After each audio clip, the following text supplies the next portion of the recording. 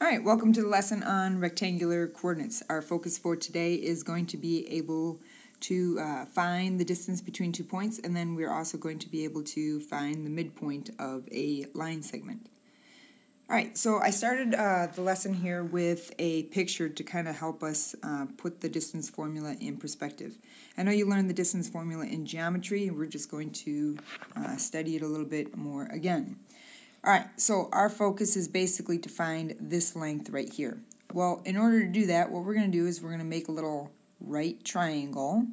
And the purpose for doing that is so that we can use the idea of a squared plus b squared equal to c squared. Okay, we're going to use the Pythagorean theorem, which is what the distance formula is based on. All right, so when we do this, okay, notice that I have a new point here, and this is the point 5 comma 3. Combine that with the other point over here of 2 comma 3 and our point up here at the top which is at 5 comma 7. Alright, so the length of A is equal to 5 minus 2 or A is equal to 3. Okay, the length of B is equal to a 7 minus 3 or a 4. Okay? And so if I wanted to go and find the length of C, I am going to do uh, a squared plus b squared equal to c squared. Okay? But to put this in terms of the distance formula, uh, I want you to understand that our a is 5 minus 2, so it's 5 minus 2 quantity squared plus our b, which is 7 minus 3 quantity squared, equal to c squared. Now, we don't need a c squared, we just need a plain old c. So how do I get a plain old c? I take the square root, and then I take the square root. Okay, so how does this play out in terms of the distance formula? Well, our distance formula is going to equal, d is equal to r x2 minus x1 quantity squared, which is your 5 minus 2 are your two x values. Notice 2 is an x value, 5 is an x value. And we subtracted to find the length of 3, and then we squared it. Then our b value, which was 7 minus 3, comes from y2 minus y1 quantity squared. Okay, and notice that 7 was a y value and 3 was a y value.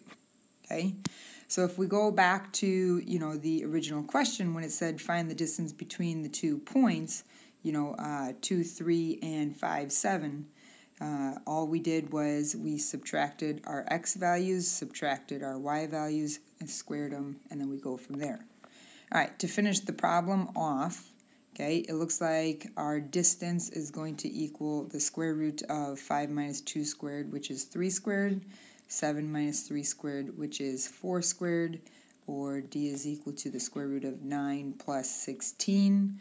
Remember order of operations, we have to square first, then we're going to add, so d is equal to the square root of 25, and then I take the square root last, and our distance is 5. So that's how we find the distance. Okay? All right, let's uh, make sure we understand it. Okay, so I put it in here in the box. Okay, here's our distance formula. And our first objective is to see if you understand it well enough to try it on your own. So there's your little stop sign. Try it, see what you come up with.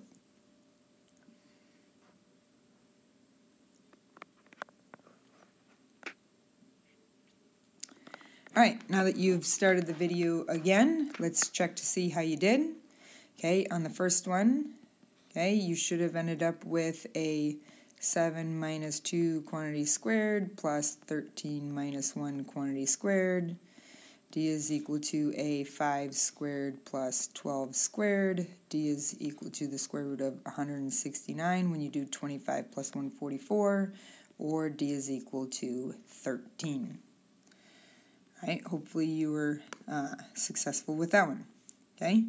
For the next one, uh, we should have ended up with d is equal to the square root of negative 1 minus 1 quantity squared plus uh, negative root 3 minus root 3 quantity squared. So d is equal to, it looks like a negative 2 quantity squared plus a negative 2 root 3 quantity squared.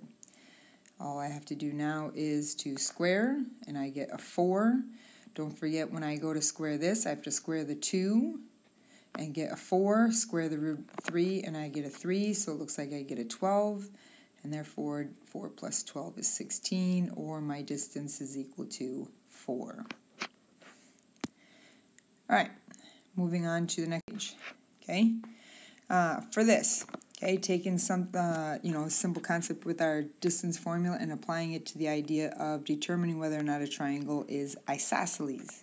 All right, reminder that in an isosceles triangle, we're looking for a situation in which two of the sides have the same length.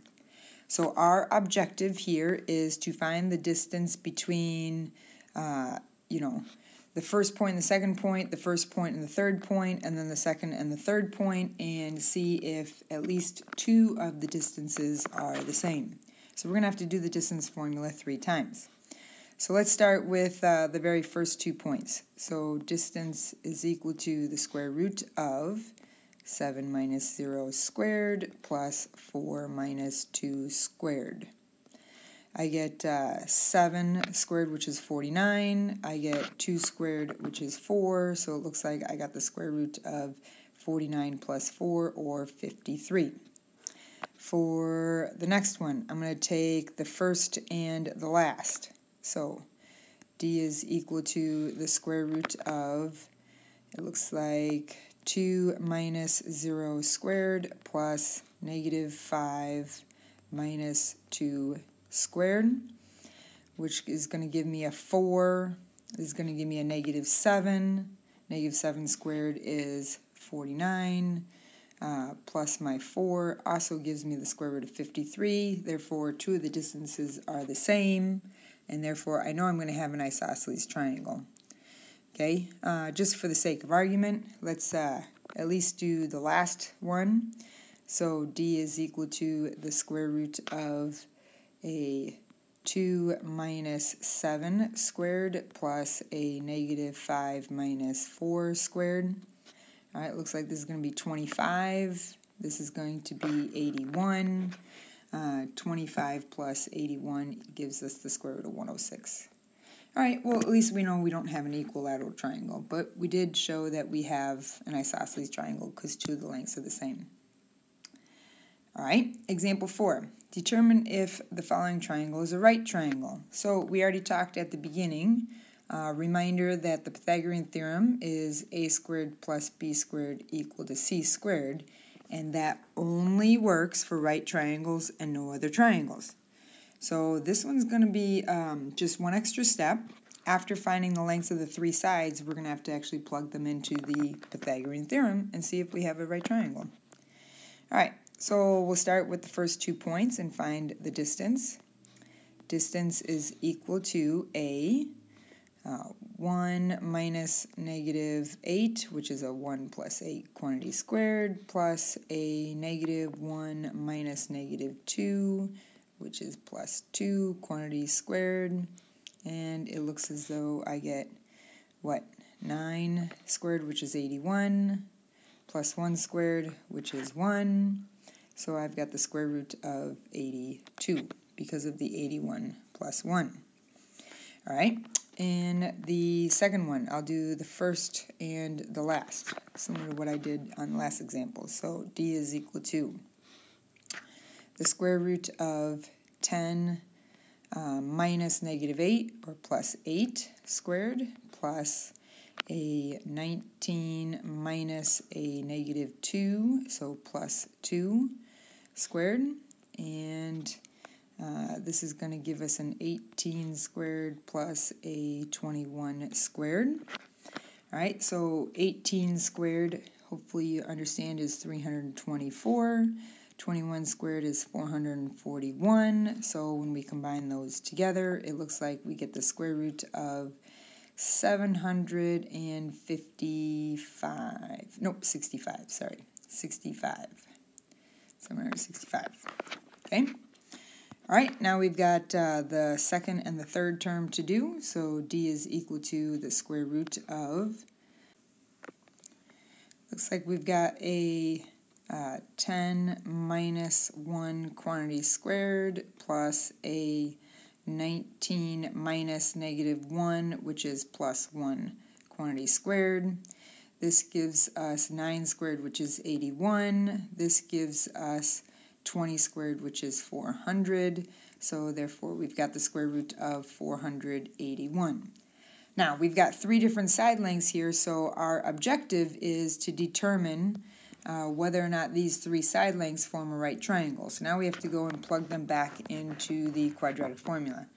Big idea that we need to make sure you understand is remember that the longest side always has to be in the c value. Okay, so the square root of 765 is going to be our c. The a and the b don't really matter. So we've got the square root of 82 squared plus the square root of 481 squared equal to the square root of 765 squared. So if this works out, it's a right triangle. All right, the square root and the square cancel, so we've got 82 plus the square root and square cancel, 481 equal to 765. Okay, and it looks like we're going to fall a little short because this is going to only add up to be what, uh, 563? So 563 does not equal 765. So therefore, nope, not a right triangle. All right, let's go on last page. Last part deals with the idea of the uh, midpoint. Okay, midpoint, if you think middle, okay, it's uh, basically found by finding your average. So our formula here is the average of the x's and then the average of the y's. So we add them together and divide by 2. So in the example that is presented, our objective is to determine uh, whether or not the two lines intersect at the same line, making it the midpoint for both. So that's what we're trying to determine, if the two lines bisect each other.